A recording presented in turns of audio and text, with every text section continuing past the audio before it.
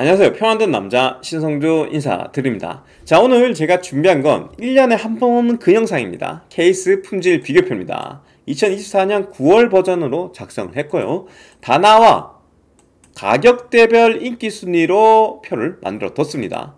다만 두 가지 경우 제가 제품을 제외했는데 첫 번째 누가 봐도 광고 받아서 순위가 오른 제품. 그러니까 저희한테 주문도 잘 안 들어오고 지금 판매한 지 한 달, 두 달밖에 안 됐어 뭐한 달, 두 달, 석 달까지 다요. 그러면은 판매량이 얼마 안 될 텐데 얘가 인기 순위에 들어가 있어요. 말이 됩니까? 말이 안 되죠. 1년 넘게 짱짱이 잘 팔린 애들도 있는데 이제 막 나왔는데 2등이라고? 말이 안 되잖아요. 그런 제품도 그냥 다 뺐어요. 딱 봐도 광고 받은 거니까. 어, 세 번째, 제가 못 만져본 제품도 웬만하면 뺐습니다. 케이스는 만져봐야 제품을 알 수 있기도 하고 제가 1년에 2,000대 정도 PC를 파는데 아직까지 만져본 적이 없는 케이스? 잘 없을 거거든요. 특히 제가 새로운 제품 주문 받을 때마다 직원들이 사장님 이거 신제품인데 한번 먼저 만져보십시오 하고 불러요. 그렇기 때문에 새로 들어온 거 놓치는 경우가 잘 없거든요. 근데 내가 못 만져봤다고? 이것도 의심스럽죠. 그래서 2, 3번의 경우 제외했고 다나와 가격 때문에 인기 순위로 작성했다고 보면 될 것 같습니다. 그리고 미리 말씀드릴 게 있는데 케이스는 가격 싸고 좋은 케이스가 없습니다. 이유를 알려드릴게요. 여러분 케이스 샀다 쳐요. 케이스가 보통 이렇게 생겼죠. 여기에 상단에 패널이 있는데 뭐 전원 버튼이라든지 리셋 버튼, USB 같은 게 들어가 있죠. 이걸 싸게 만들어도 3,000원이고 일반적으로 USB 3.0 같은 거 좀 들어가 있다 싶으면 6,000원 정도 합니다. C타입도 들어가 있으면 더 가격이 오르고요. 그리고 펜 요새 4개나 6개 제공해주죠. 게이밍 제품 경우에. 이게 LED가 있으면은 일단 2,000원이 넘어가요. 대량으로 몇만 개 납품받더라도. LED가 없는 제품들도 뭐 1,500원 이상 합니다. 그것도 정말 구린 ID 방식으로 펜속 조절 안 되면서 사용할 수 있는 제품들 가격이 그렇고요. 만약에 펜속 조절되거나 그러면 3,000원 넘어가는 경우가 많습니다. 그래서 팬만 이만큼 달면은 일단 이것만 만 원이 날라가요. 맞죠? 뭐 전면 패널 그 뭉뚱그려 5천원 날라갔다 칩시다. 내가 케이스 3만 주고 샀어. 그럼 벌써 15,000원이 그렇게 나가. 그게 끝입니까? 아니죠. 이게 케이스 포장해야 될 거 아니에요. 박스 가격하고 스티로폼 가격은 공짜로 나는 거 아니죠. 그것도 몇천 원 빠집니다. 그러면 포장재랑 운송비 그리고 지금 얘기했던 팬이랑 전면 패널 가격이 벌써 2만 원이 넘어요. 그러면 케이스 강판은 어떻게 만들어요? 케이스 간판 고작 7, 8천 원 가지고 만들어야 되는 겁니다. 왜? 이거 수입해서 파는데도 한 2, 3천 남겨 먹어야 될 거 아니에요. 맞죠? 그러면 이거 가지고 강판 만들어야 된다니까? 그럼 이 옆판이 두껍겠어요? 샤시가 두껍겠냐고요? 안 두껍죠. 그냥 손가락을 뚝 누르면 북 들어갈 정도의 두께로 만들 수밖에 없습니다. 도색 품질도 좋지 않고요. 그러면 뭐 얇게 만든 게 뭐가 문제인데요? 얇게 만들면 몇 가지 단점이 있습니다. 첫 번째 단점. 나사선이 쉽게 뭉그러집니다. 이 나사를 고정할 때 나사선 자체가 얇으니까 망그러져요. 그래서 조립할 때 나사가 헛돌거나 재조립이 불가능할 수도 있습니다. 두 번째, 공진음이 생겨요. 이 공진음은 뭐냐면은 팬 blade는 일단 완전 균일하게 만들기 어렵습니다. 그래서 이 중에 분명히 무거운 놈이 있거든요. 무거운 놈이 있으면 무게가 그쪽으로 쏠리니까 얘가 돌면서 진동이 생겨요. 움직이는 게 움직이는 모든 것은 진동이 생긴다. 알죠? 네, 그렇게 생각하면 돼요. 그래서 이 진동이 옆판에 전달이 되는데 이게 강판이 얇으면 소리가 증폭이 돼요. 이렇게 소리 납니다. 웅웅웅웅 이렇게 소리 나요. 그러니까 소음에 시달리게 돼요. 차음도 잘 못하겠죠. 얇으니까. 벽이 두꺼우면은 옆집에서 떠드는 소리 안 들리잖아요. 근데 얇으면 다 들리죠. 모텔 안 좋은 데 가면 그렇잖아요. 옆방 소리 잘 들립니다. 차음이 안 돼요. 강판이 얇으면. 그 외에 배송 올때 파손도 쉽게 납니다. 택배를 받았는데 막 케이스 이렇게 뒤틀어져 있는 경우 많아요. 보드 제대로 장착도 안 되고. 그러니 솔직히 3만 원, 뭐 3만 몇천 원, 2만 얼마 이 정도 주면서 품질을 바라시면 안 돼요. 4만 원대까지도 그래요. 펜 여러 개 달린 애들은 대부분 쿨링은 좋을지언정 지금 얘기한 것처럼 제대로 된 품질을 가지지 않은 샤시를 가지고 있기 때문에 어느 정도 소음을 감수해야 되고 도착했을 때 도색 불량이나 파손 같은 게 흔히 생긴다. 그거 알아두고 케이스를 구매하십시오 제가 5, 60만원짜리 케이스 사면서 아 5, 60만원짜리 본체 사면서 케이스 2, 3만원짜리 사는 건 별말 안 해요 100만원짜리 사면서 예산 부족해서 3, 4만원짜리 사는 건 별말 안 합니다 근데 200만원짜리 본체 사면서 케이스 3만원짜리 사는 거는 솔직히 무슨 생각에 저러나 싶어요 케이스 비용에 1.5%밖에 추가 안 한다고요? 당장에 5, 6만원짜리만 사도 엄청난 품질 차이가 나는데요. 에이 그건 나잘 모르겠는데요. 오늘 이 표를 보면 알 수 있을 겁니다. 그러니까 구독과 좋아요 눌러주시고 2만원 3만원대부터 저 위에 몇십만원 케이스까지 같이 한번 보도록 합시다. 일단 저렴한 사무용 케이스부터 보여드릴게요. 첫 번째 케이스 그냥 싼 맛에 쓰는, 쓰는 겁니다. CD롬 달려있고 강판도 얇고 그래도 선정리 홀은 조그만한 작게 진짜 좁은 틈이지만 있긴 있어요. 그리고 표준 ATX 그러니까 큰 사이즈의 보드가 들어갑니다.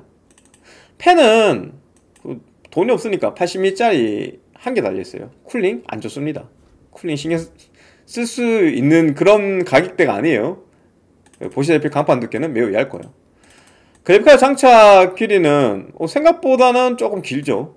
어, CPU 쿨러도 조금 낮은 타워형 120mm는 들어갈 정도로 되어 있긴 합니다 근데 이거는 진짜 말 그대로 기본 쿨러 쓰는 그래픽카드 안다는 사무용도에만 쓰십시오. 어, 장점은 저렴한 가격 정도. 그리고 저렴한 가격에 불구하고 full size 보드가 장착된다는 것 빼고는 다 단점입니다. 근데 이거 내가 열심히 깠는데 사실 이거만한 2만원 미만의 사무용 케이스는 없습니다. 자 그 옆에 있는 건 똑같은 사무용 케이스인데 미니입니다. M-ATX잖아요. 짧은 보드만 들어갑니다. full size 보드 안 들어가요 가격은 거의 똑같고요. 얘가 사이즈 자체가 이거보다 많이 작거든요. 그러다 보니 강판을 좀 두껍게 가져갈 수 있어요. 심지어 얘는 우측 옆판에 있는데 반대쪽은 옆판이 없어요 아예. 거기에 바로 보드 장착합니다. 그러면은 이 슬라이딩 방식 여는 도구가 없잖아요. 없으니까 강판을 더 두껍게 가져올 수 있겠죠. 그래서 얘는 가격에 비해서 매우 두껍습니다. 지금 여기 보면 0.7T까지 가는 놈도 있으니까 없어요. 저 한 7만원대 가야 했거든. 가격에 비해 짱짱하다 탄탄한 느낌이 든다. 모서리를 다 라운드 처리를 해서 가격에 비해 덜 싸구려로 보입니다. 물론 어디까지나 가격에 비해입니다. 도색 품질 이런 건 별로 안 좋아요. 그래서 작게 구성하고 약간 탄탄한 케이스를 원하신다면 사무용을 구성할 때 요 DMO 11도 괜찮은 것 같습니다. 그 외에 여러 제품 사무용도 있던데 뭐 이거 두 개만 한 게 없으니 얘네들이 1, 2위를 차지하고 있는 것 같아요. 세 번째 거는 사무용이 아니에요. 어, 3만 원도 안 되는 가격에 사실 상만원이랑 다른 바 없긴 한데 게임용도 짤 수 있는 케이스입니다. 하지만 얘는 측면펜 두 개랑 후면펜 하나밖에 없는 제품이라서 이 측면펜은 바람이 어떻게 돼요? 이렇게 한번 쳐서 내려가죠. 그래서 약하거든요. 근데다가 이 펜 스펙이 안 좋아요. 안 좋기 때문에 쿨링은 그리 안 좋습니다. 다만 그래픽카드 호환폭이 확실히 늘어났고 뭐야 이거? 어, 이거 잘못 적었습니다. 240이에요 이거 수정한다는 걸 제가 잘못 수정했네요. 어, 상단 순행 쿨러 호환성은 좀 떨어지고요. 측면에 이 팬이 reverse 팬이에요. 그게 흡기 팬이에요. 원래 측면 팬은 흡기로 해야 되거든요. reverse 팬 이 가격에 썼다는 거 그게 장점이고 ball catch 옆판. ball catch 옆판은 뭐냐고 하면은 위 그 옆판 열 때 있잖아요.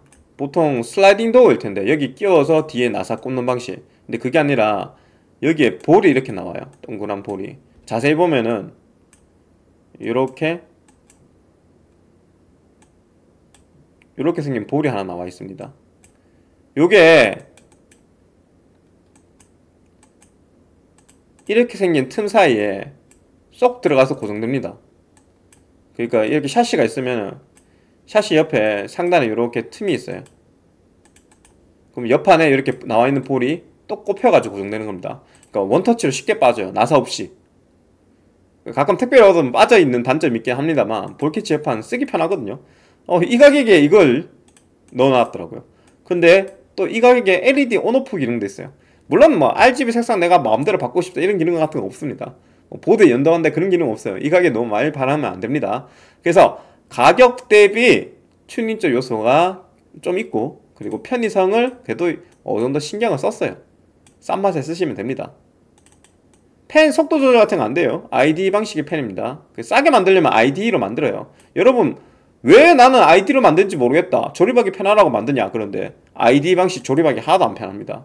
ID 방식이 뭐냐면은 옛날에 하드디스크 있죠. 그 아마 요즘 젊은 커뮤니티는 잘 모를 텐데 이렇게 생긴 게 있어요. 여기에 동그란 핀 4개 들어가 있는 거. 이거 커넥터 연결하기 진짜 빡세거든요. 3핀, 4핀 훨씬 쉽지. 3핀, 4핀 이렇게 생겼는데. 이런 게 훨씬 쉬워요. 펜속 조절도 되고. 근데 왜 이걸로 만드는지 모르겠다 하시는 분 있던데 이게 그냥 싸니까 이렇게 만드는 겁니다. 여튼 그 방식으로 되어 있는 펜입니다. 위에 360 라디도 안 되고요. 그러니까 아담하고 트윈 요소 있고 나름 기능을 좀 가지고 있는데 저렴하다 정도만 생각하세요. 여기에는 4060이나 4060 Ti급 정도 글카만 장착을 권장드리고요. CPU는 5600, 12400, 7500F 정도 급에만 권장을 드립니다. 13600K만 넣어도 온도 못 잡더라고요. 자, 그래서 2, 3만원대 gaming 케이스 하나, 사무용 케이스 두 종류 어, 추천드리고 넘어가겠습니다. 그 다음은 3, 4만원대 한번 볼게요. 3, 4만원대는 좀 더 다양하게 넣었어요. 왜? 이 가격대 세, 생각보다 잘 팔리거든요. 여러분 100만원, 70만원, 80만원 견적 많이 사잖아요. 그때 쓰는 케이스들입니다. 일단 첫 번째는 데이븐. 얘가 1위던데 이 가격에 팬을 6개를 줘요. 전면에 3개, 상단에 2개, 후면에 하나. 그리고 표준 ATX 보드 장착되고요. RGB 전면에 3개, 후면에 하나 이렇게 들어와 있어요. 얘도 IDE 방식이기 때문에 팬속 조절은 안 되고요. 풍량이 좀 약한 팬이 들어가 있습니다. 하지만 팬이 6개잖아. 그래서 cooling이 나쁘지 않습니다. 그래픽카드 호환폭은 조금 아쉬운데 CPU 쿨러 호환폭은 꽤 높아요. 대장급 공랭 쿨러 다 들어갑니다. 상단에 수랭 달기는 좀 힘들고요. 평균 강판 두께는 얇습니다. 어쩔 수 없어요. 펜 6개 넣는데 강판이 어떻게 두껍겠어요. 이 가격에 6펜, LED 온오프 기능이 있고 상단에 자석 필터. 사실 여기 있는 제품들 70%가 상단에 자석 필터가 있습니다. LED 연도 안 되고 옆판 전면 고정이 불편합니다. 이게 슬라이딩으로 앞에 딱 끼워가지고 뒤에 나사 방식으로 조이는 거기 때문에 좀 불편해요. 어, 그 정도가 단점입니다. 사실 이 가격대에 나름 괜찮은 케이스라 생각해요. 어디까지나 이 가격대. 그 다음에 에코 U30 말입니다. 얘는 그 U20 제품에 그냥 사이즈 키운 제품 full size 보드 들어가게 앞으로도 늘리고 위로 늘린 제품입니다. 그래서 팬 스펙 구리구리한 거 똑같고 측면 팬 두 개, 후면 팬 하나 있고 어, 그래픽카드 호환폭이 좀 늘어났죠. 상단에 3열 수랭이 장착 가능합니다. 라니 SE360 같은 아니면은 저 A360 발키리 이런 좀 중저가형의 괜찮은 수랭 쿨러 집어넣어서 짜게 튜닝적 요소가 괜찮은 케이스 정도 생각하면 될 것 같습니다. 나머지 옵션은 똑같아요. 측면 reverse 팬에다가 ball catch 있고 얘는 그래픽카드 지지대도 하나 끼워주긴 하더라고요. 이거 지지대 장착할 때 조심하십시오. 그래픽카드 팬 닿는 경우 많습니다. LED on off 기능 있고 뭐 똑같이 IDE 팬 방식입니다. 자 넘어가겠습니다. DK200 월경적에 들어가 있는 제품입니다. 얘도 펜 6개 줘요. 이 가격에. 보시면 데이븐보다 그래도 조금 더 싸죠. 몇백 원이나마. 펜 스펙은 표기를 안 했는데 풍량이 나쁘지 않았어요. 대충 한 40쯤 되지 않을까 생각해요. 제가 측정기가 없어서 확인을 못했습니다. 그래픽카드 호환폭 약간 아쉽죠. 조금 더 넓었으면 좋겠는데 하기야 이 케이스에 뭐 고사양 짜신 분 없으니까 넘어가겠습니다. 쿨러 호환폭도 조금 아쉽습니다. 지금 보니 왜 이 데이븐 D6가 잘 팔린지 알겠네요. 근데 DK200 왜 이렇게 자꾸 쓰는데요? 아 DK200이 그래도 이 가격 대비 그 QC는 좀 하는 편이에요. 그러니까 너무 막 찌그러져서 오거나 팬 불량이 많거나 그렇진 않습니다. 데이븐은 스크래치 나서 오는 경우 종종 있거든요. 근데 얘는 좀 덜 해요. 덜 하다는 거지 얘도 없다는 건 아니고. 예, 순행 달기도 좀 힘들고 강판 두께는 둘이 비슷합니다. LED 온오프 기능이 있어요. 가격 대비 펜 분량이 적어서 많이 쓰는 편이고 그냥 펜이 6개 달려 있습니다. 강판이 얇은 게 단점이고 상단 필터가 없습니다. 따지고 보니까 데이브는 조금 더 좋은 것 같기도 하고 아 넘어가겠습니다 아, 왜냐면은 여기에 진짜 추천 제품이 지금 소개시키는 이 제품이거든요. 마이크로닉스 쿨맥스 스테디입니다. 최근에 조립을 해봤어요. 가격은 앞에 애들보다는 약간 비싸요. 2,000원 정도 비쌉니다. 뭐 큰 차이는 안 나죠. 마찬가지로 표준 보드 장착이 되고요. 팬은 4개밖에 안 줍니다. 상단에 2개가 안 주면 좀 아쉬운 거 아니에요? 음, 그럴 수 있죠. 그럴 수 있는데 이거 조립해보니까 괜찮다는 생각이 든 게 일단 강판 두께가 앞에 두 놈보다는 조금 더 두껍습니다 근데다가 이 가격에 USB C 타입을 지원해요. 전면에. 요즘 B650 보드는 14만원, 15만원짜리 보드 사도 C타입 다 지원해주죠. 근데 C타입 이 3, 4만원대에 있는 제품이 한 개도 없거든요. 얘가 유일하게 있습니다. LED on off 기능이 있고 ball catch 옆판 나사 방식으로 옆판을 달 필요가 없어요. 아까 설명드렸던 똑딱이 방식의 ball catch 옆판을 가지고 있습니다. 그리고 팬이 얘네들 120mm 팬이잖아. 얘는 140mm 팬이에요. 확실하게 풍량이 더 높은 게 느껴집니다. 뭐 손을 갖다 대보시면 아실 거예요. 그래서 cooling이 괜찮아요. 그러니까 팬이 4개라 하더라도 전면에 140mm 팬 3개니까 팬이 커서 튜닝 효과도 더 있고 풍량, 그러니까 바람의 세기도 더 좋다. 쿨링이 6개 있는 놈들하고 비교해도 전혀 밀리지 않는다. 다만 단점이 하나 있는데 이 ID 방식으로 됐거든요. 아까 얘기했던 그 조립하기 불편한 이거 꼽는 순서 잘못 꽂으면은 문제가 생기더라고요. LED 온오프 기능에 문제가 생깁니다. 그러니까 그거 순서를 주의하셔야 돼요. 설명서에 적혔으니까 보고 조립하십시오. 빠져 있다면 이게 연결돼서 오는 경우도 있는데 빠져 있는 경우도 많거든요. 그래서 제가 보기에는 여기 1, 2, 3번보다는 확실하게 마이크로닉스 쿨맥스 스테디가 쓸만했습니다. 자, 그 다음은 아이구즈 해치 미오입니다. 요거 사무용 케이스. 효도용 케이스로 제가 자주 출고시키는 제품인데 얘는 팬 스펙을 당당히 적어놨더라고요. 뭐 높진 않습니다. 근데 이게 140mm 팬 전면에 두 개 있는데 140mm 팬에 35CFM이면 팬이 천천히 도는 거거든요. 그래서 소음 이슈로 연락 온 적이 한 번도 없어요 아직 마찬가지로 펜속 조절은 안 되고 케이스 크기는 아담합니다. M-ATX 시리즈만 들어가요. 그러다 보니 쿨러 완성이나 그래픽 완성이 높진 않습니다. 말 그대로 사무용도 쓰기 좋은 것 같아요. 아니면은 중저사양 예를 들어 12400F, 7500F에 4060 넣고 그렇게 짜면 괜찮은 것 같습니다. 평균 간판 두께 크기에 비해서는 준수한 편이에요. 0.56이면은 그냥 평균 두께 정도밖에 안 되는데 여기 있는 제품들. 근데 위아래로 짧고 앞뒤로 짧거든요. 그래서 어 이 정도면 뭐 튼튼한 느낌인데? 라는 느낌이 들어요. swing door 방식이라서 편안하게 옆에 잡고 이렇게 열 수가 있어요. 똑딱이보다 더 편하죠. 경첩형이라고도 하죠. 그냥 잡고 이렇게 여는 겁니다. 뭐 나사로 쫄 필요 없고 똑딱이처럼 걸 필요도 없어요. 편합니다. 깔끔한 전면 디자인. 진짜 앞에 메시 있고 그냥 밋밋하게 뭐 마크 하나 없이 딱 가려놨는데 깔끔하죠. 이 가격에 140mm 펜 전면에 두개 그리고 120mm 펜 후면에 하나 있는 것도 괜찮고. 그리고 장점이자 단점인데 LED가 없습니다. LED 없는 거 좋아하는 어른분들 많거든요 어르신들. 어, 그런 분들한테는 좋은 선택이 되겠지만 화려한 거 좋아하는 애들한테는 아니면 젊은이들한테는 화려하진 않죠. 그래서 이게 장점이자 단점입니다. 요것도 무난하게 쓸만한 것 같아요. 3점 드리겠습니다. 그 옆에는 이제 DS900M입니다. DS900이 M 버전 말고 full size 버전도 있습니다. 그거는 이따가 설명드리고 이 M 버전은 당연히 M-ATX 보드만 장착이 되기 때문에 M 버전입니다.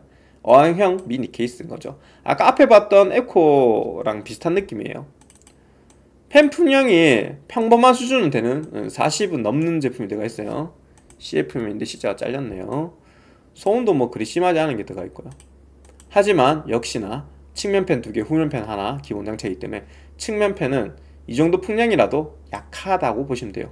펜속 조절 안 되고요. 그래픽카드 호환 괜찮습니다. 꽤 긴 것도 다 들어가요.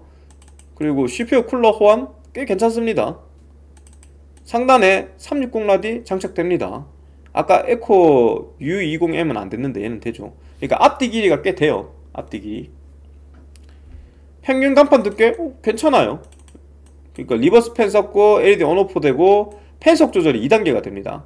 중간 속도로 돌래, full 속도로 돌래 이거를 눌러서 바꿀 수 있어요. 뭐 breath 모드도 있긴 한데 그냥 넘어가세요. LED 막 깜빡깜빡하는 뭐 그런 모드도 있어요. 그냥 넘어가시고 저장장치 장착한 슬롯이 좀 부족하다는 것 빼고는 큰 단점이 없습니다. 왜냐하면은 보통 여기 지금 팬 달 수 있게 뚫어놨는 쪽 있죠. 파워 가림막 앞에 여기에 하드 장착하게 되는데 얘는 여기 팬 장착할 수 있게 해놓은 것 같아요.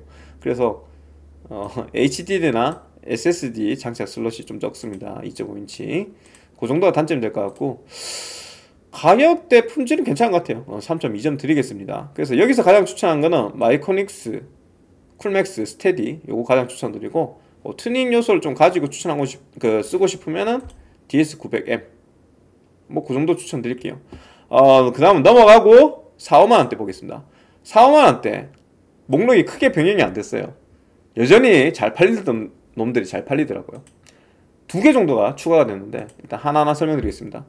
M60 나온 지 오래됐죠? 근데 그만큼 개선도 됐습니다. 얘 원래 측면 사전 방식. 사전 방식이 별론데 사전 방식이 뭐냐면은 측면에 유리 있죠. 유리가 있는데 이렇게 구멍 유리에 구멍을 뚫어요. 구멍을 뚫고 이렇게 생긴 나사 있습니다. 이렇게 이렇게 생긴 나사 4개 꽂는 거예요 근데 이 강화유리라는 게 구멍을 뚫으면 엄청 약해지거든요. 그래서 모서리에 횡압력을 쉽게 받아요. 깨지기 쉽다는 얘기입니다. 실제로 파손건 때문에 비산 방지 필름도 발라서 팔고 그랬었어요. 근데 그래도 깨진다는 소리가 자꾸 나오니까 아예 경첩형을 바꿨어요. 경첩형은 뭐냐면은 옆에 이렇게 경첩을 달아. 그리고 유리를 이렇게 붙여. 그럼 어떻게 됩니까? 이렇게 열리는 거죠 그냥. 유리가. 이렇게 열려요. 이렇게 열립니다. 네. 그러면 유리가 깨질 일 잘 없죠? 왜? 여기 그냥 테이프로 붙여놓은 거거든? 강력한 양면 테이프로. 구멍 안 뚫고. 그래서 그렇게 만들어 놨더라고요. 어 개선 많이 된 케이스라서 불편함이 많이 줄어들긴 했는데 이거 단점이 이제 상당 수냉 쿨러 어, 호환성이 안 좋다 대신 공냉 쿨러 호환성은 좋아요. 맞죠? 공냉 대장급 튜닝램 넣고도 들어갑니다. 기본 팬은 두 종류가 있는데 상단 팬은 소음이 좀 있기 때문에 아무래도 좀 풍량이 약한 걸 넣고 전면하고 후면은 풍량이 좀 센 걸 넣어놨습니다. 그래서 요거 가지고 시끄럽다 하시는 분도 있는데 그냥 시끄러운 팬은 아니고 평범한 수준의 소음을 가지고 있습니다. 팬 6개 기본 제공에다가 평균 간판 두께 크기를 생각하면은 얇지는 않습니다. 평범한 수준의 간판 두께를 가지고 있어요 LED 온오프 기능도 추가가 돼 있어요. 선전리 공간이 좀 좁습니다. 1cm인가 밖에 안 돼가지고 선전리하기 엄청 불편하더라고요. 초보자한테는 추천드리지 않는 케이스고 그 업자한테 맡길 때는 괜찮은 케이스. 뭐 그렇게 생각하면 될 것 같아요. non LED 팬이 종종 이제 달달달달 소음이 난다는 것 정도도 추가로 단점으로 볼 수 있겠는데 여전히 가성비로 쓰기 좋은 케이스라고 생각합니다. 그 다음에 에코 G30 트로포스입니다. M60의 강력한 라이벌인데요. 가격대가 비슷해요 얘도 표준 ATX가에 되고 보시면은 그래픽카드 호환성이랑 공랭 쿨러 호환성이 흡사합니다. 팬 똑같이 6개 제공해주고요. 근데 얘 팬은 어, 스펙이 미공개되어 있어서 어느 정도 풍량이 나온지 잘 모르겠어요. 제가 생각에는 M60보다는 살짝 약한 것 같습니다. 수냉쿨 호환성 안 좋은 거는 뭐 거의 똑같고요. 강판 두께도 거의 똑같습니다. 그래픽카드 지지대를 추가로 끼워줍니다. AD 온오프 기능이 있고 어, 단점은 먼지 필터 제거가 좀 어렵고. 그리고 4점식 강화 유리. 아까 제가 4점식 강화 유리 깨지기 쉽다 그랬죠? 그거 쓰고 있어요. 시대에 좀 뒤틀어지긴 했죠? 하여튼 간에 이 두 제품 강력한 라이벌. 둘 중에 고른다면 저는 이걸 고를 것 같은데 생각보다 에코 거 쓰신 분들 많더라고요. 왜 그러냐면 에코가 사진을 잘 찍어서 그런 것 같아요. 실물 보면은 두 개 품질 차이는 별로 없어 보입니다. 그러면 저는 이걸 쓰겠습니다. 자 그러면 DRX70입니다. 여기 있는 목록 중에서 가장 추천할 만한 제품입니다 이유가 있는데 들어보면 알까요? 일단 펜 스펙 나쁘지 않습니다. 소음치는 평범한 수준이고요. 팬은 4개 제공해줍니다. ATX 어, 표준 사이즈 들어가고요. 그래픽카드 장착 길이 어, 앞에 둘보다 약간 나은데 뭐 조금 더 나은 수준. CPU 쿨러 장착 길이 아 이거 호환폭 좋아요. 얘가 ball head clamp라고 되어 있는데 이거 똑같은 겁니다. 아까 똑딱이 방식으로 옆에 열었다 닫는다 하는 거. 어, 그거 들어가 있어요. LED 온오프 기능이 있어요. 그리고 펜속 조절 2단계 됩니다. 아까 얘기했던 중간 속도 들래 빠른 속도 들래. 어 그거 됩니다. 전면 패널이 자석형이라서 이거 떼서 청소하기 편해요. 그 이 가격대에 이 정도 강판 두께에 이 정도 옵션에 뭐 펜속 조절 된다는 것 자체는 저소음으로도 쓸 수 있다는 얘기죠. LED 온오프 기능 같은 거 다 있고 옆판 빼기 편하고 전면도 자석형 패널이라서 청소하기 편하고 쿨러나 그래픽카드 호환성도 떨어지지 않고 가격 5만원 안하고 이런 거 잘 없죠. 그래서 얘를 가장 높게 평가합니다. 실제로 판매량이 꽤 되는데 팬분량도 그리 많지 않은 편이에요. 그래서 여러분이 4, 5만원대 뭐 살지 고민된다 했을 때는 이거 딱 고르시면 될 것 같아요 이거 디자인이 마음에 안 든다면 요 나머지 목록 중에서 고르시고요 자, 그 다음은 벤티 C60입니다. 벤티 C60. 여기 있는 애들 중에서 강판 제일 두꺼워요. 그게 장점이고요. 그리고 여기 있는 애들은 140mm 펜 쓰는 애들이 없거든요. 유일하게 140mm 펜 쓰고 있습니다. 전면 140mm 펜 3개, 상단 후면에는 120mm 펜 3개, 그리고 싹 다 RGB가 들어옵니다. 물론 RGB 색상 변경 이런 건 안 돼요. RGB 온오프 기능은 있어요. 그리고 풍량이 훌륭합니다. 140mm 펜이기 때문에 52CFM을 가지고 있습니다. 여기 있는 애들 중에서 쿨링이 제일 좋아요. 다만 QC가 좀 잘 안 되는지 케이스에 스크래치 나서 도착하는 경우가 종종 있습니다. 가끔 뭐 발판 깨져서 오는 경우도 있고 그 정도가 단점인 것 같아요. 가격이 딴 애들하고 비교했을 때 몇천 원 안 비싼데 풍량 괜찮은 펜 쓰고 그리고 6개 펜이 싹 다 RGB 펜이다. LED 오프가 된다. 아, 그 정도면은 꽤 괜찮은 케이스죠. 그래서 이 제품도 한 번쯤 봐두시면 좋을 것 같습니다. 자, 그 다음은 3할의 R260입니다. 아, 앞에 애들이 워낙 강력한 놈들이라서 얘가 막 크게 메리트인지 모르겠어요.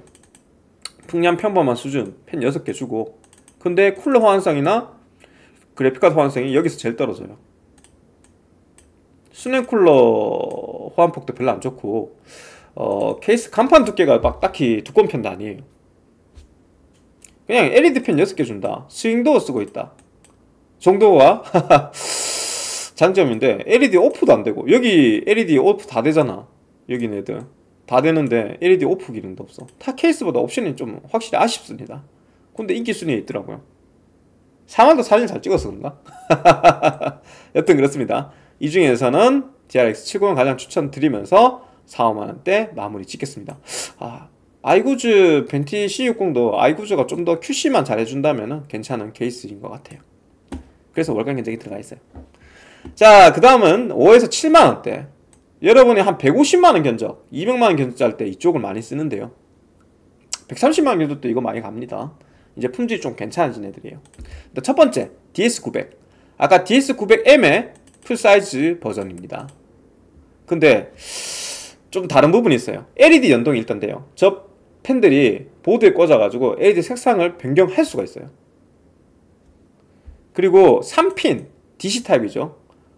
그 아까 ID는 설명해 드렸죠. 3핀, 4핀이 있는데 3핀은 PWM이라고 부르고 아 4핀은 3핀은 DC라고 해요. 이거 둘의 방식이 다른데 얘는 온오프를 이렇게 온, 오프, 온, 오프를 반복하면서 펜속을 조절하는 거고요. 그러니까 아무리 펜속을 줄여도 멈추는 구간은 없어요. DC는 전압으로 조절합니다. 전압을 낮추다 낮추다 보면 동작 전압도 안 돼서 펜이 아예 멈춘 경우가 생겨요. 그 광량도 약해진 단점이 있고요. 그래서 4핀이 더 좋긴 한데 4핀 비싸거든요. 저거는 3핀 방식을 채택한 것 같습니다. 뭐 어찌됐든 3핀 방식 써서 팬속 조절도 되고 보시다시피 LED 연동도 가능하고 또 LED는 따로 핀이 나와 있기 때문에 뭐 광량이 약하지, 약해지거나 그렇진 않아요. 그래서 지지대도 기본 제공해주고요. 측면팬은 reverse 팬 3개, 후면 팬 하나. 그 LED 버튼은 별도 컨트롤러용이기 때문에 여기 LED 케이스에 버튼이 있거든. 그거 꼭꼭꼭꼭 누르면서 성조님 LED가 안 바뀌어요 하는데 어 그거 쓰는 버튼은 아닙니다. 그 얘네 자체 컨트롤러가 따로 있어요. 뭐 알트인가 있을 텐데 그거 사면은 쓰라고 만들어 놓은 거지. 그 아무리 눌러봤자 색상 안 바뀌니까 누르지 마시고 보드에 꽂아서 연동해 쓰십시오. 어, 그래픽카드 호환폭 어, 매우 넓어요. 그리고 CPU 쿨러 호환폭도 괜찮은 편입니다. 팬 기본 스펙도 괜찮은 편이고요. 솔직히 쓸만하다 생각해요. 다만 여기에 13600KF 넣고 공랭어 짜거나 4070 슈퍼, 4080 이런 거 넣으면 온도가 좀 높게 나와요. 상단에 수냉 쿨러 쓰지 않을 거면 상단 펜 추가해서 쓰세요. 좀 사양이 높다면. 물론 4060 Ti, 4060 그리고 12400, 7500F 뭐 이런 애들은 그냥 공랭으로 써도 됩니다. 그래서 쿨링이 살짝 아쉽다. 아, 왜? 강화 유리 케이스니까 앞뒤 아, 앞면 옆면 둘 다. 그거 정도만 단점을 삼을 수 있고 나머지는 다 장점이라고 생각해요. 실제로 많이 나갑니다. 우리 판매량의 10%는 이걸로 나가는 것 같아요. 그 다음에 아이구즈 프레이 케이스입니다. 얘가 LED가 없어요. 깔끔한 non LED 케이스. 표준 ATX 케이스고요. 기본 팬이 140mm 팬 6개 주기 때문에 풍량이 괜찮아요. 그리고 전면 mesh니까 cooling이 좋겠죠. 상단, 전면, 후면 싹 다 똑같은 스펙의 펜을 쓰고 있어가지고 괜찮아요. 그래픽 장착길이 괜찮고 어, CPU 쿨러 호환 폭 괜찮습니다. 수행 달기에는 적합하지는 않고요. 평균 간판 두께도 얇은 편 아니에요. 이게 LED 선이 없다 보니까 뭐 없어서 조립하기 편해요. 옆판도 충분히 선정리 공간이 있고요. LED 버튼이 있는데 LED가 없습니다. 그거 아무리 눌러봤자 안 바뀌어요. 아, 이거 버튼 좀 뺐으면 좋겠어. 에야 LED 없는데 LED 수정도 안 되는데 LED 버튼 좀 만들어 놓지 않았으면 좋겠어. 그 외부 컨트롤러 쓰기용으로 만들어 놨다 그러는데 이거 자꾸 손님이 오해해가지고 LED가 안 들어와요. 이러면서 연락 온다니까. 좀 뺐으면 좋겠는데 여튼 그렇습니다. 어, 뭐 적당히 LED 싫어하시는 분들이 가성비 제품을 쓰기에 나쁘지 않다 생각합니다. 넘어가겠습니다. 그 다음 다크플래시 DK1000입니다. 여기 있는 제품 중에서는 가장 점수를 높게 준 편인데 이유가 있어요. 일단 측면, swing door 아까 쉽게 열 수 있는 그래서 자기네 광고하려고 살짝 열어놨죠. 그리고 팬 전면에 140mm 팬 씁니다. 어, 후면은 아니지만 팬 스펙 나쁘지 않아요. 그래픽카드 호환성 뭐 평범한 수준 되고요 어, CPU 쿨러 호환성이 좀 떨어지긴 해요 이거 공랭 대장급 튜닝 메모리 넣으면 안 달리니까 그냥 일반 메모리 쓰고 공랭 대장급 쓸 때 이 케이스 가세요 상단 순행달기에 또 그 적합하냐? 또 그것도 아니더라고요. 간판 두께가 두꺼운 편이에요. 그러니까 쿨러 호환성이 조금 떨어진다는 게 얘가 유일한 단점인데 간판 두께가 두꺼워가지고 케이스 사이즈에 비해서 좀 탄탄하게 느껴집니다. 그리고 그래픽 지지대 기본 제공해주고요. 어, 펜 속도 조절돼요 3핀으로 아까 D타입으로 조절된다 그랬어요. 그리고 전면 C타입 USB도 제공해줍니다 상단 수냉쿨러 호환성 나쁘지 않다고 적어놨는데 실제로는 상단에 간섭이 일어나는 경우가 많아가지고. 아 이건 나쁘지 않다고 나쁘다고 적어놓은 거예요. C타입 포트 가끔 불량나서 저희가 직접 교체하기도 합니다. 그 정도가 불편하고 이 가격을 생각하면 훌륭합니다. 6만 4천원? 확실히 딴 애들보다 만 원 더 받을 만한 품질은 가지고 있는 것 같아요. 그래서 LED 싫어하시는 분들 추천 한번 드리고 넘어가겠습니다. 아쿠아! 데이븐 케이스. 이거 생각보다 잘 판매되는데. 그래 이거 뭐 그래픽카드 호환성도 괜찮고 상단에 보통 수냉 박아 쓰는 용도로 쓰면 괜찮습니다. CPU 쿨러 호환성 공랭으로는 별로 안 좋아요. 기본팬 스펙은 그냥 그래요. 소음이 크진 않습니다 다행히. 근데 강판은 두께가 너무 얇아요. 특히 보드 장착 부분 강판이 너무 얇고 옆판도 좀 얇은 편이라서 만져보면 그냥 헐렁헐렁해요. 헐렁헐렁합니다. LED 연동되고 팬속 조절되는 3핀이라서 또 ball catch 방식이니까 옆판 열기도 편하고 뭐 이런 장점이 많긴 한데 그래픽카드 긴 것도 되고 수냉 갈거 아니면 이 케이스 웬만하면 안 가시는 게 좋을 것 같고요. 이 공랭으로 고사양을 짜기는 안 좋거든요. 강판이 얇기 때문에 어느 정도 소음이 생겨요. 공진음 때문에. 특히 수냉 쿨러 박았을 때. 보드 박는 부분이 얇아요. 웅웅웅 소리 나요. 그거 정도 감수하십시오. 그리고 사진에서는 도색이 엄청 깔끔하게 되어 있는 것 같은데 막상 받아보면 번들번들거리는 뭐 저가형 도색 품질 있잖아요. 그거 그대로입니다 알고 계십시오. 싼티 좀 납니다. 싼티 좀 나는데 그래도 6만원에 옵션은 나쁘지 않다. 자 그 다음 마이크로닉스 우퍼 케이스인데 signature edition이라고 다양한 색상으로 내놨더라고요. 이거 여성분들한테 인기가 있습니다. 실제로 여성분들한테 주문이 종종 들어와요. 어, 빨간색, 파란색 이런 거. 인테리어용으로. 내 책상 색깔 바, 맞추겠다. 아니면 뭐 내 키보드 마우스 색깔 맞추겠다. 이런 식으로 이게 주문이 한 번씩 들어옵니다 독특한 우표형 케이스고 전면 펜이 162편인가 들어가 있을 거예요. 어, 근데 생각보다 풍량은 높지 않습니다. LED 오프가 전면만 되거든요. 그래서 후면 LED가 안 꺼지니까 왜 후면에 LED 안 꺼지는데 태클 걸릴 때가 많습니다. 좀 불편한 거죠. 옆판 유리라서 후면 LED가 뻔히 다 보이거든요. 후면도 꺼지게 해줬으면 좋겠어요. 개선 좀 했으면 좋겠고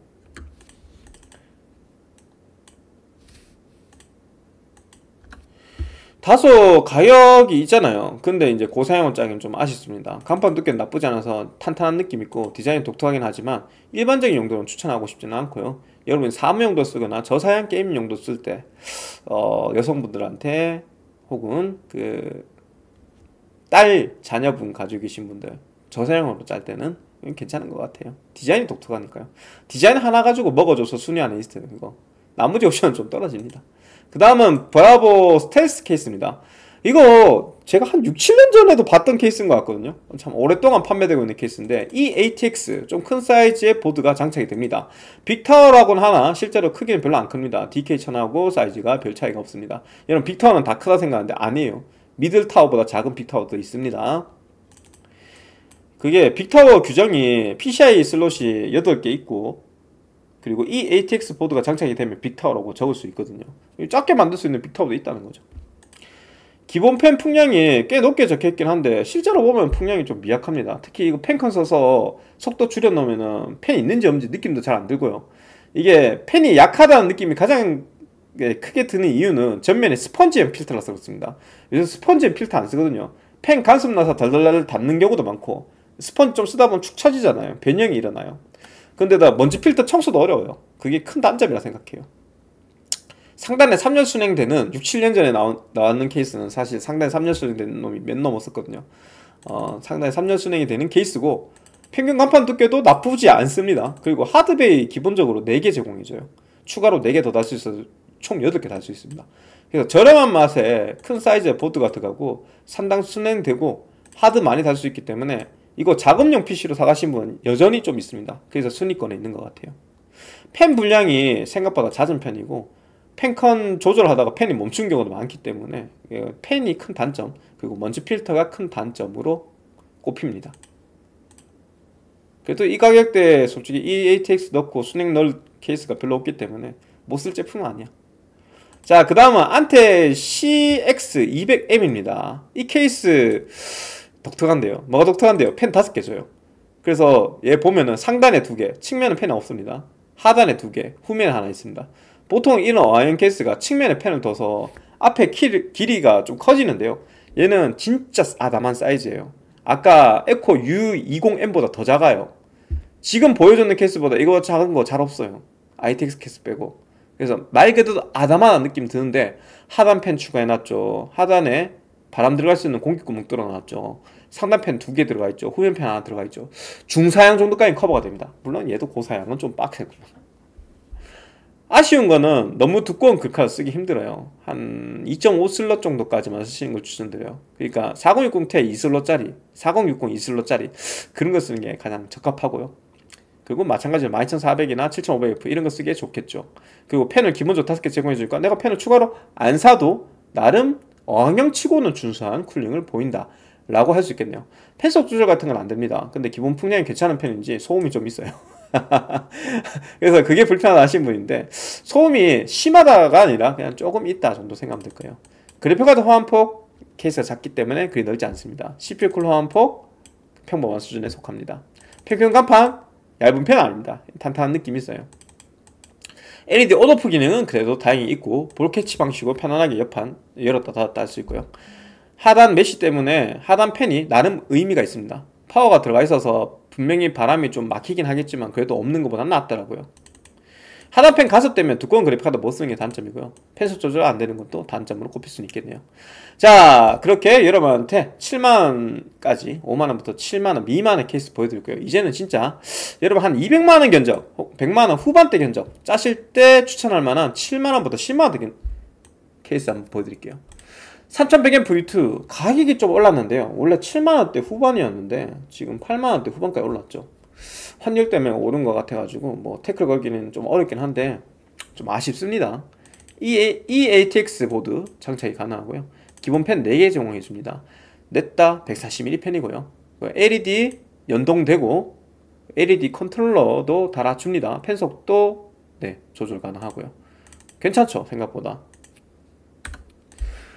두꺼운 강판. 강판 두께가 무려 0.8T 평균. 그 케이스 크기가 상당히 클 거예요. 근데 옆판 툭 쳤을 때 헐렁헐렁한 느낌이 없어요. 그렇다고 엄청 탄탄한 느낌은 없는 게 케이스가 커서 그렇습니다. 그래서 강판 두께 칭찬해드리고 싶고 상단에 360 라디. 수냉 쿨러 호환성 괜찮죠? 공랭 쿨러 호환성 괜찮고 그래픽카드 호환성도 괜찮습니다. 호환성 자체는 다 괜찮아요. 어느 그 뭐 글카든 쿨러든 장착하기 편안하게 장착이 가능하다 선정리도 충분히 넓게 2cm 정도 띄워져 있기 때문에 선정리하기도 편합니다 C타입도 제공해줍니다. 10기가 버전으로요. 그리고 최대 풍속 시 소음이 좀 있으니까 소음 좀 남다 하시는 분들 많아요. 특히 AMD 제품 그 CPU 쓸 때 7000 시리즈 얘가 기본 온도가 좀 높기 때문에 거기에 팬이 연동되면은 좀 고 RPM으로 돌기 때문에 소음에 시달리는데요. 그만큼 풍량이 좋습니다. 그래서 소음과 성능은 같이 가는가 보면 돼요. 그래서 저걸 막 무작정 단점이라고 좀 씻기는 힘들어요. 그래서 좀 높은 평가를 주고 나는 소음에 좀 무디고 쿨링이 좋은 케이스 쓰고 싶다 하신 분들 이 케이스 추천하고 넘어가겠습니다. 그러면 소음에 좀 민감한 사람 뭐 써야 되는데요? 옆에 거 쓰세요. L600 콰이어트입니다. 가격대 거의 비슷해요. 얘는 이제 표준 ATX 정도까지만 장착이 가능하고요. 풍량이 다소 떨어집니다. 70이랑 50대 후반은 다르죠.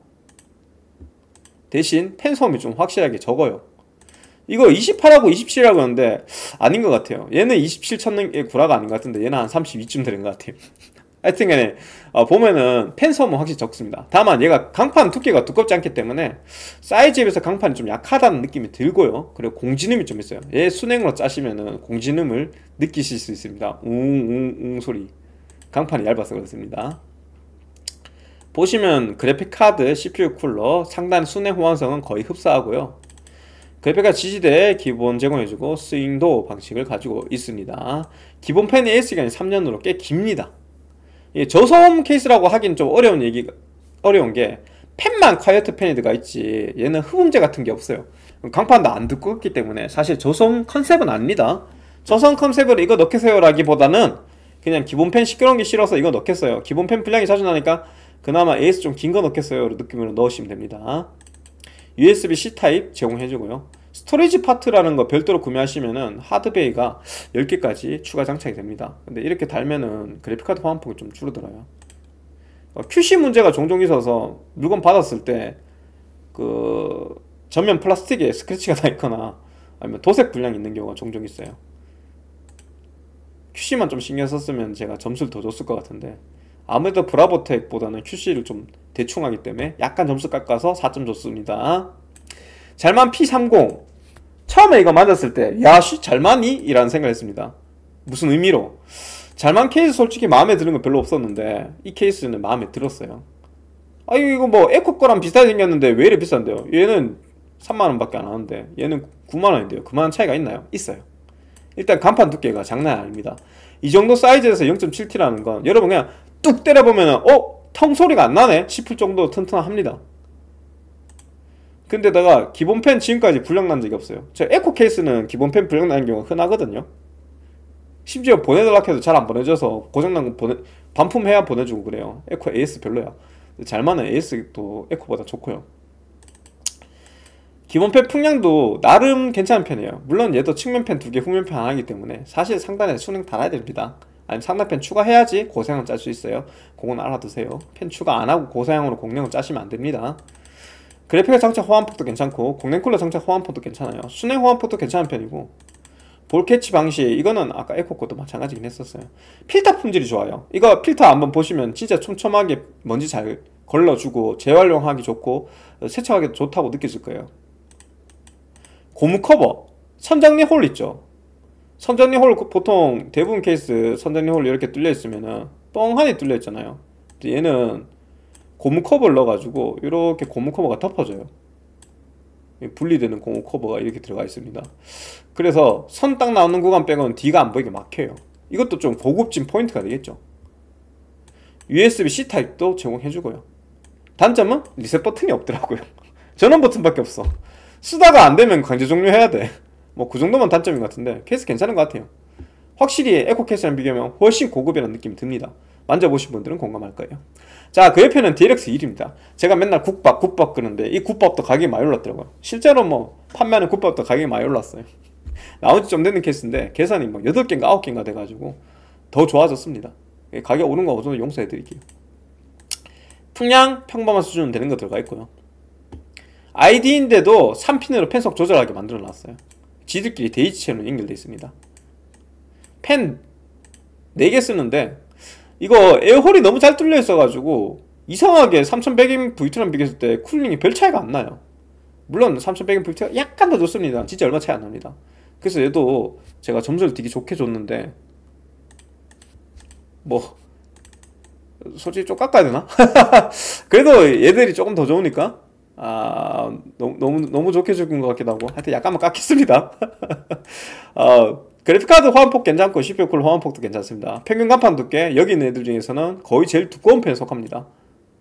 물론 이렇게 두께 뚫었어도 막상 보드 장착 부분 보면은 예, 보드 장착 부분 이렇게 구멍 두 개 뚫려 있거든요. 여기 팬 달라고. 이런 게 달려 있어서 이쪽이 튼튼한지 잘 모르겠다는 얘기를 하시는 분이 종종 있더라고요. 어쩔 수 없죠. 팬 달라고 구멍 뚫어놨으니까. 어쨌든 강판 두께 자체는 딴 애들하고 비교했을 때 확실하게 두껍게 넣어놨습니다. 그래서 옆판은 탄탄해요. 위아래 눌렀을 때도 딱 짱짱하고요. 팬속 조절되고 LED 변경됩니다. 그러니까 이 가격대쯤 되면 LED가 대부분 색상 변경이 되거나 보드에 연동이 됩니다. 상단 수랭 호환성 좋은 거 아까 얘기한 것 같고 USB-C 타입 어, 그리고 그래픽카드 지지대. 이 그래픽카드 지지대도 그래픽카드 팬 닿는 경우 많으니까 장착하실 때 조심 좀 하시고요 측면 팬 달면은 USB 3.0 같은 거 보드에 꽂을 때 호환성 이슈가 생기기도 해요. 이게 뭔 얘기냐면은 아까 제가 보드 장착 부분에 이렇게 구멍 뚫어 놨던 게 있잖아요 근데 여기 팬을 달았어. 그 여기에 유, 그 선 정리용 홀이 있는데 이렇게 보드가 장착되면 이게 반쯤 가려지거든요. 그래서 여기에 USB 3.0 뽑고 여기에다 이렇게 3.0 꽂으려면 힘들어요. 여기에 뚫려 있으면 펜 없으면 이쪽에 이렇게 여유롭게 꽂을 수 있는데 특히 포트가 이렇게 나온 애들 있거든. 이쪽 옆으로 꽂는 애들. 그런 애들 넣기 힘들다는 얘기예요. 근데 이게 흔한 경우는 아니고 그런 경우가 종종 있더라. 정도만 보면 될 것 같고. 지대 화소 좀 떨어지는 건 방금 전에 그랬죠? 그래픽카드 펜에 닿는 경우 있다고. 요거 정도가 단점을 볼수 있는데 이거 솔직히 큰 단점도 아니에요. 내가 뭐 짜내고 짜내서 적어놓은 거 두 개지 이 제품 훌륭합니다 솔직히. 왜 베스트셀러인지 알 것 같아요. 추천할 만해요. 그 다음은 잘만 Z11입니다 딱 만져보면은 DLX2를 벤치마킹해서 만들었다고 생각이 듭니다. 가격은 DLX1보다 조금 더 싼데요. 옵션은 거의 똑같습니다. 후면팬이 120mm라는 것 정도만 달라요. 다만 풍량이 좀 약한 팬을 사용하고 있어가지고 소음 이슈는 잘 없는데 쿨링이 좋다고 하기엔 좀 애매해요. 물론 상당 수능 달 때는 얘도 괜찮은 편이에요. 전면 슬라이딩 필터 써가지고 빼서 청소하기 편합니다. LED 및 팬속 조절 기능. 여기 있는 애들 다 있다 그랬죠? 얘도 있어요. 자석 지지대 아, 자석 지지대는 좋더라. 그래픽카 지지대 호환성 얘가 제일 좋은 것 같아. 그리고 C타입, 전면 C타입 가지고 있고 스윙 돌아서 옆판 열기 쉽고 LED 허브 기본 제공해줍니다. 140mm 팬 치고는 좀 낮은 풍량을 가지고 있어서 점수를 좀 까긴 했는데 얘도 한 4.2 정도는 줄수 있을 것 같아. 내가 보기엔 L600보다는 이게 조금 더 좋아. 잘만 Z10, Z10 플러스도 괜찮다 생각하고 넘어갈게요. 그 다음에 R640 콰이어트입니다. 요것도 많이 나갑니다. 많이 나가는데 일단 펜 스펙이 상당히 훌륭해요. 진짜 이 정도 풍량이 나온지 모르겠는데. 적혀있는 스펙은 좋습니다. 쿨러나 그래픽 호환성도 괜찮고 상단의 순행 호환성도 괜찮은데 강판 두께는 좀 얇은 편에 속해요. 그 3R 제품들 대부분이 강판 두께는 좀 신경을 안 쓰는 편이더라고요. LED 컨트롤러 기본 포함되어 있고 팬 보증이 3년이 됩니다 그리고 팬속 조절 허브도 제공해줘요. 이 허브 자체는 좋은 게 들어가 있다고 생각해요. USB-C 타입 주고 지지대 주고 딴 애들도 다 주니까 안 줄 수 없겠죠 이 가격대에서. 다기능 LED 버튼. LED 버튼이 여러 가지 기능이 있어요. 그러니까 이 LED 버튼 얼마나 깊게 누르냐에 따라 끌 수도 있고 뭐 보드에 연동할 수도 있고 아니면 자체 컨트롤 사용할 수도 있고 뭐 그런 기능을 가지고 있습니다. 이것도 장점인 것 같아요 비교적 얇은 강판 빼고는 단점이 별로 없기 때문에 충분히 DLX2랑 비슷한 점수를 줄 수 있을 것 같아요. 이 세 개 추천 목록에 들어가고 넘어가면 될 것 같습니다. 마지막 거 밥통 케이스 이거는 왜 설명 안 한대요. 손으로 들고 다닐 수 있는 ITX 케이스인데 기본 팬이 아예 없습니다. 그래서 뭐 설명할 게 없어요. 강판 두께 적당히 두껍고 ATX랑 SFX 파워 두 개 겸용인데 실제로 ATX 파워 달면은 밑에 그래픽카드 긴 거 못 달아요. 간섭 생겨서. 그래서 SFX만 써야 되는 게 맞을 것 같고요 3면 full mesh라서 cooling 자체는 나쁘지 않습니다. 손잡이 달려있고 옆면 유리라서 튜닝적 요소도 좀 있고요. USB-C 타입. 이 가격에 C 타입 안 주면 안 되지. 두꺼운 그래픽카드 못 쓰고 긴 그래픽카드 쓰면 SFX 파워 못 쓴다는 게 단점이고 앞에 픽셀 악세서리라고 뭐 악세서리 사가지고 그림을 그거 꼭꼭꼭꼭 꽂아 꽂아 넣어서 꼭 그림처럼 그릴 수 있긴 한데 뭐 이게 크게 장점인지도 잘 모르겠어요. 여튼 이거는 인기 순위에 있던데 나는 잘 모르겠어 아, 들고 다니는 이동성이 필요하신 분들만 한번 고민해 보세요. 음. 하여튼 넘어가겠습니다. 그 다음부터 이제 좀 고급 케이스들을 한번 볼게요. 고급 케이스들 10만원대 넘어가는 애들 그래도 20만원 안 넘는 애들 자 일단 마이크로닉스 ML420이 1위더라고요 이거 저희 월견적에도 들어가 있는데 이게 1위 할만해요 지금까지 팬 불량이 거의 없었어요 판매량이 꽤 되는데 그리고 팬 기본 스펙이 훌륭합니다. 와 87CFM이라니. 풍량이 좋아요. 이 정도쯤 되면 측면에 달려있어도 얘가 측면팬 3개 후면팬 하나거든요. cooling이 괜찮은 편이에요. 그래서 중고사양까지는 공랭은 짜도 됩니다. 하지만 초고사양 짜려면 상단에 순행당하는 게 좋겠죠. 그래픽카드 호환성. 와 개쩔어. 455 이거보다 넓은 애들 잘 없습니다. 그래픽카드 호환성 좋고. CPU 쿨러 호환성. 공랭. 괜찮고. 순행 개쩔고. 하여튼 쿨러 호환성은 이거보다 좋은 케이스 잘 없습니다. 상단에 420 라드까지 장착이 돼요. 평균 간판 두께? 오 훌륭해 이 정도면. 0.8T 넘는다고? 쿨러 호환성 괜찮고 ball catch 방식이라서 옆판 빼기 편하고 PWM LED 허브 기본 제공해주고 전면 C타입 10기가. C타입인데 5기가밖에 안 되는 애들도 있거든. 10기가 제공해주고 BTF 보드도 지원해주고 강판 두께 괜찮고. 다만 어, 그래픽카 지지대 대부분 지지대가 그렇긴 한데 얘, 얘 지지대 이렇게 옆으로 볼록 나오는 건데 요것도 아 그래픽카드 종류에 따라서 팬 간섭이 있긴 있더라고요. 요 정도만 단점이라고 볼 수 있고 나머지는 다 장점이라 생각합니다. 요거 쓸만해요. 어항형 케이스 적당히 중가격에 쓰고 싶다. 중고급형 쓰고 싶다 싶으면 이거 괜찮습니다. 자 그 옆에는 C8 케이스. 요거 아닙니다. 아, 진짜 콜벳 C8도 있잖아. 얘도 C8 케이스. 일부러 이렇게 적은 것 같아요. 좀 이슈 되라고 안돼 C8 케이스인데. C8이라고 부를까? 아, 그럼 입에 안 붙는데 그냥 C8 케이스라고 할게요. 요거 아니에요? 요 케이스도 가격에 비해서 고급져서 겉모습이 많이 나가는데요. 기본펜은 안 줍니다 아예. 그래픽카 호환성 괜찮고. 공랭 쿨러 호환성도 괜찮은 편이에요. 순행 호환성은 아주 괜찮다기보다 그냥 괜찮은 편. 근데 좀 아쉬운 부분이 보드 장착 부분 간판 두께가 0.5T밖에 안 되더라고요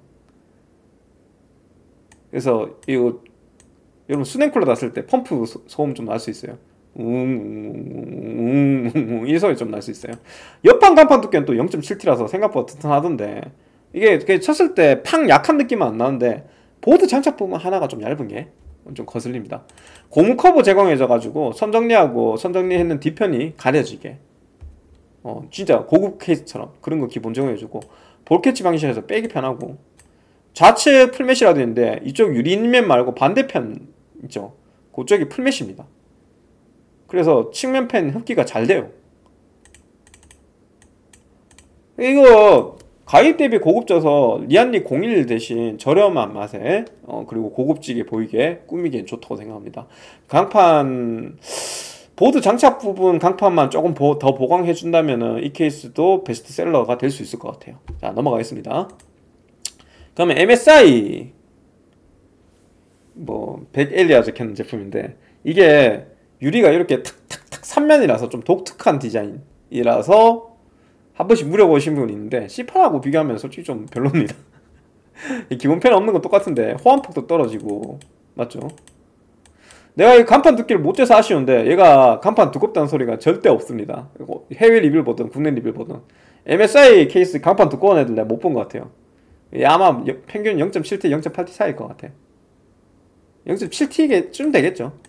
전면 C타입. 오 무려 20기가짜리 제공해줘요. 그거는 마음에 들어요. 어, 자사 보드 중에 BTF 보드 있죠. BTF를 안 부르긴 하는데 프로젝트라고 부르죠. 프로젝트 제로. 고 보드 지원이 되고요. 좌측 full mesh 옆판 가지고 있어서 마찬가지로 측면 흡기가 괜찮은 편입니다. 볼캐치 방식 편하게 뗄 수 있겠죠. 기본 펜 제공 안 되고 강판이 직접 만져봤을 때 좀 한랑하게 느껴지는데 제가 이거 측정기 가지고 직접 안 재봐서 이건 나중에 재보면 다시 업데이트 해드리겠습니다. 하여튼 저는 MSI 세팅으로 굳이 가겠다. 뭐 보드나 쿨러나 다 MSI 세팅을 하겠다. 그럴 때나 쓰겠지. 그거 아니면은 앞에 두 개 중에서 선택할 것 같아요. 그 다음은 자, 잘만 P50DS 요거 물건입니다. 여기에 지금 사진상에 작아서 안 보이는데 측면에 LCD 하나 있거든요. 여기에 정보 표시가 됩니다 GPU, CPU 온도가 정보 표시가 됩니다. 물론 USB 꽂아야 되고 그 보드에다가 그리고 자체 프로그램 깔아야 되긴 하는데 이거 디자인적으로 보기에도 좋고 실제로 내 GPU, CPU 온도가 얼마인지 문제가 생겼는지 없는지 확인하기 너무 편하거든요. 괜찮은 것 같아요. 아 물론 라데온 그래픽카드에 가끔 이게 온도가 제대로 안 뜬다고 하지만 엔비디아에서는 그 보고 본 적 없어요. 그래서 13만 6천 원에 옆에 온도 표시기 오 괜찮은 것 같아 기본 팬 풍량 나쁘지 않고 BTF 지원하고 reverse 팬 기본 측면 팬. 그러니까 측면에 3개 후면에 하나 팬 기본 제공해 주거든요. ball catch 방식이고 LED hub 있고. PCIe 회전. 그 뒷면에 PCI 그래픽 카드 슬롯 있잖아요 뒷면에. 보통 이렇게 돼 있잖아. 어, 그래픽 카드 여기 이렇게 장착하죠. 근데 riser 쓰기 좋으라고 이거를 풀어가지고 이 방향으로 바꿀 수 있어요. 이게 뭔 큰 장점이라고 얘기를 하는데 할, 까봐 미리 얘기했지만 이게 어떤 제품은 이렇게 돌리는 게 아니라 기본적으로 이쪽은 측면에 있고 앞에 이렇게 세로로 돼 있는데 그러면 두꺼운 글카를 못 써요. 유리에 너무 가까워서. 이걸 돌릴 수 있는 건 나름 라이저 쓸 때는 큰 장점이에요. 그래서 그 기능도 있더라고요 지지대도 기본 제공해주고 고무 커버도 있어서 어, 고급진 느낌도 있고 C타입도 들어가 있고. 얘 생각보다 괜찮더라고요. 여기서 내가 아, 잘만 거를 점수를 제일 잘 줄지 생각도 못했는데 아 너무 과하게 점수 줬나 싶을 정도로 잘만 거 점수를 잘 줬습니다. 그러니까 솔직히 여기는 LCD 패널 온도 표시계가 어, 플러스 0.5점 들어갔다 보면 됩니다. 그거 빼고 생각하면은 이거랑 품질 차이는 별로 없다 생각하는데 여튼 괜찮았어요. 자 그 옆에는 미팔 윙. 그냥 미팔하고 다른 버전은 버전이죠. 윙이라 붙었는 애들은 기본 펜을 제공해줍니다.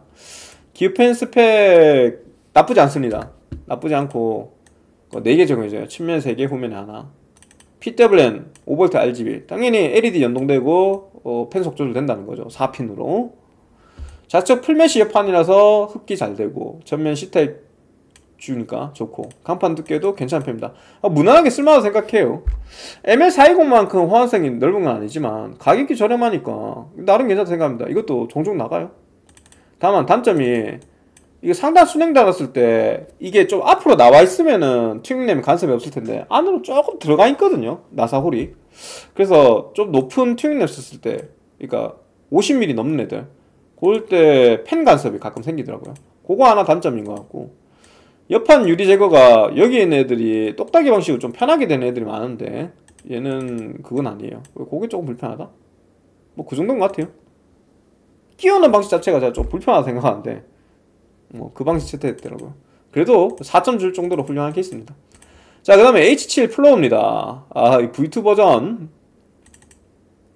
제가 H 모시기 시리즈 뭐 6, 7, 9 시리즈 맨날 칭찬하죠 NGXT는 가장 큰 장점이 있습니다. 도색 분량을 거의 볼 수가 없어요. 스크래치나 있는 QC 분량도 잘 없고요. 마감이 정말 좋습니다. 누구 봐도 고급져 보입니다.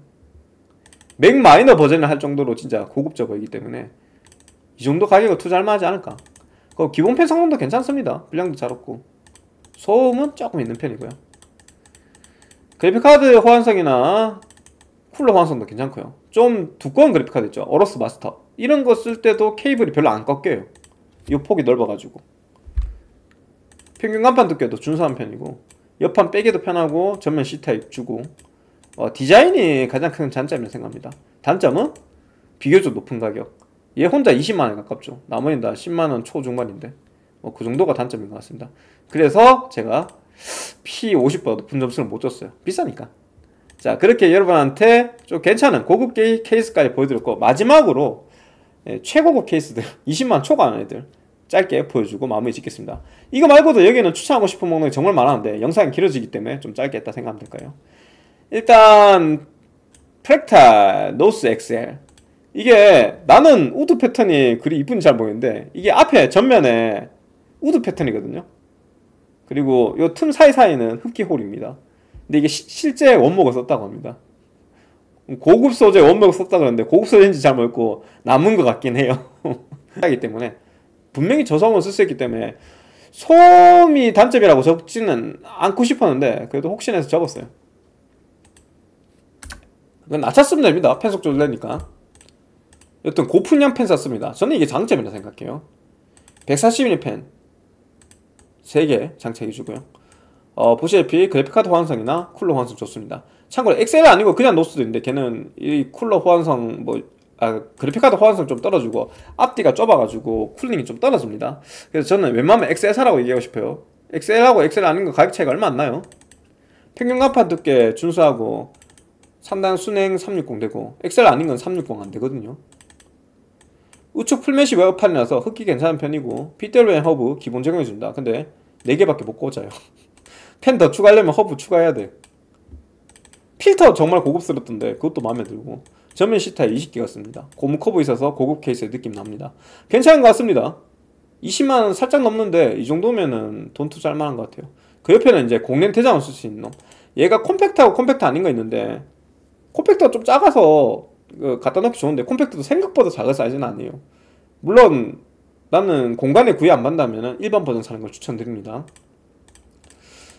쿨러 얘보다 스펙 좋은 쿨러 본 적이 없습니다 154CFM의 쿨러를 가지고 있고요 얘가 RGB 제품도 있습니다 180mm 팬 전면에 두 개 들어가 있어요 하단에도 팬 장착 가능하고 후면에도 팬 장착 가능한데 얘는 팬 두 개, 180mm 팬 두 개.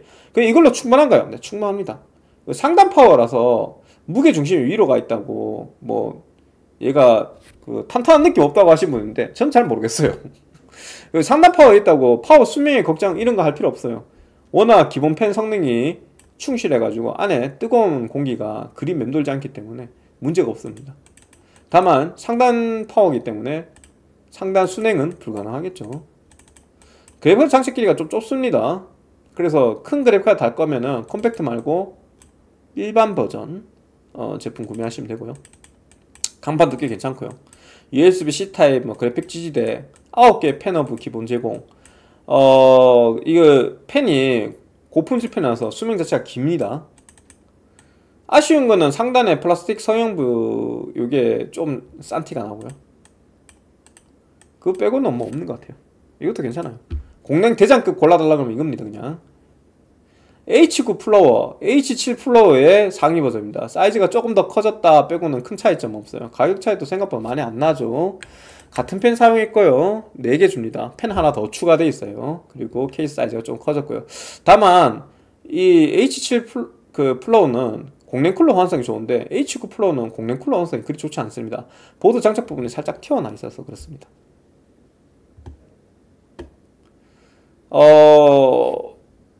뭐 수냉 쿨러 호환성 괜찮고 강판 두께는 케이스 사이즈가 커진 만큼 좀 더 두꺼워졌고요 나머지 옵션은 H7하고 거의 똑같습니다. 이것도 무난하게 자주 팔리는 케이스. 그 옆에는 PU 뺐습니다. 이거 나온 지 오래돼가지고 요새 딴 거 추천해달라고 자꾸 하시는 분인데 나온 지 오래됐어도 이것만한 케이스 별로 없어요. 이 전면이랑 상단이랑 패널을 떼거나 교체할 수가 있어가지고 고cooling으로 쓸 수도 있고 닫아가지고 저소음으로 쓸 수 있는 두 가지 컨셉이 가능한 케이스입니다 심지어 강판도 두껍고 물론 가끔 도색 불량이나 스크래치 불량이 있긴 한데 케이스 자체가 좀 고급져 보여요. 그런 불량이 없을 때는.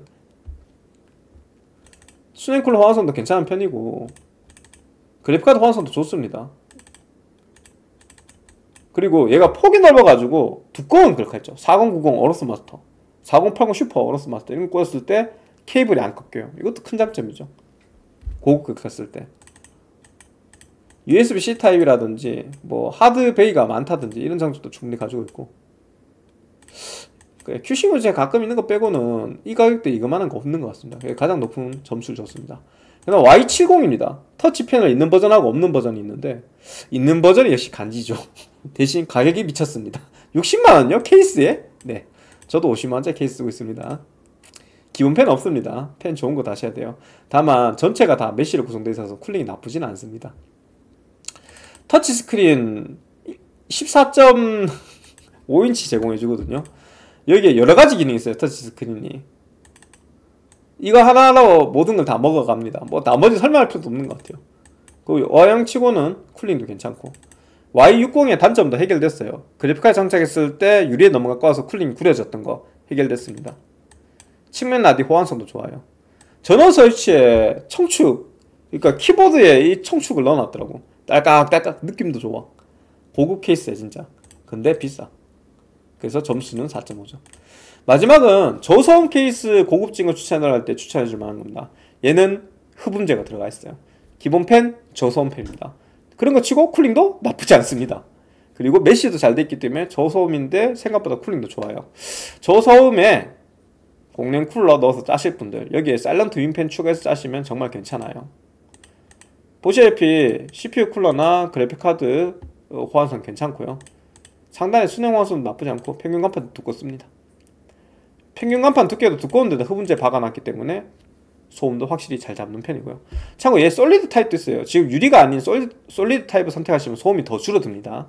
내부 보기 싫으신 분들 유리가 아닌 solid 타입, 윈도우 타입 아닌 거 사시면 됩니다. 단점은 딱히 없고 사이즈가 좀 큰 게 단점 정도로 생각합니다. 얘도 점수 높게 줬어요. 괜찮아요. 자, 이렇게 여러분한테 무려 2만원대부터 60만원대 케이스를 다 추천드렸어요. 이 표는 카페에 공유해 드릴 테니까 한 번씩 밑에 추가로 설명해 놓은 거 같이 보면은 괜찮을 것 같고요. 업자가 보셔도 괜찮고 그 유저가 보셔도 괜찮을 것 같아요. 물론 저보다 경험 많은 업자들도 많겠지만 사실 조립 경험 제가 13년 차라서 꽤 많은 편이고 판매량도 제가 1년에 한 2,000대는 파니까 적지 않다 생각하거든요. 적지 않은데 그러니 그냥 동네에서 이제 몇 대 못 파신 분들 요 표 참조하시면 괜찮을 것 같아요. 한번 제가 추천한 케이스 맛봐 보세요. 맛있을 거야. 아무 정보 없이 사는 것보다는 역시나 정보가 좀 있을 때 좋겠죠. 물론 제가 추천한 제품들도 좀 저가형들은 도색, 불량, 스크래치, 배송 파손 이런 게 좀 있으니까 어, 어느 정도 감안을 하시고요. 어, 이 표를 참조하시면 좋을 것 같습니다. 오늘 영상 여기까지였고요. 어, 다음번에 더 좋은 표로 만나 뵙길 약속드리며 이만 물러가겠습니다. 여러분, 바이바이.